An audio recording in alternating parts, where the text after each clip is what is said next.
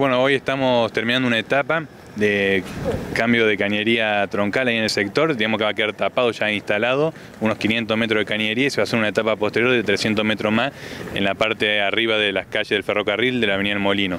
Eso va a quedar todo terminado hoy ya, la parte baja.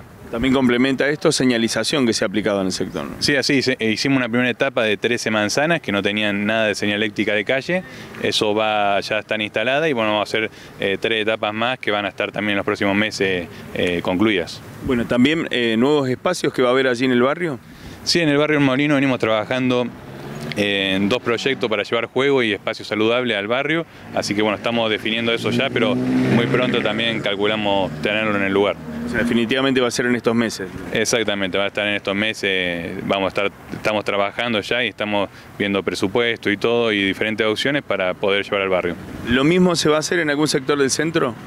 Así es, bueno, una plaza que se viene trabajando hace un tiempo, ya que la Plaza de la Democracia en el barrio El Balcón, una plaza que eh, estamos trabajando de cero y la, vamos a, terminar, calculamos también en los, próximos, en los próximos meses, está en el barrio El Balcón, una de las rotondas principales ahí, y bueno, llevamos la iluminación a final del año pasado y ahora estamos urbanizando y tratando de, de armar una plaza en ese sector.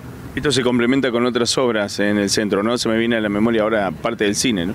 Sí, parte del cine. En el cine estamos haciendo todo lo que son trabajos de pintura del, cine, eh, en la parte interior, y también eh, estamos haciendo trabajo de vereda en espacios públicos, por ejemplo, en el corralón municipal, acá una cuadra de la avenida San Martín, eh, estamos haciendo todo el trabajo de vereda también para mejorar el tránsito y la, la visual a los vecinos.